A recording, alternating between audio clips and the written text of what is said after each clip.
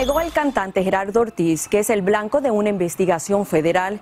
En este comunicado desmiente la versión de su ex amigo Ángel del Villar, quien el viernes admitió que agentes del FBI allanaron cuatro propiedades suyas, incluyendo su disquera, pero dijo que andaban buscando evidencia contra el artista.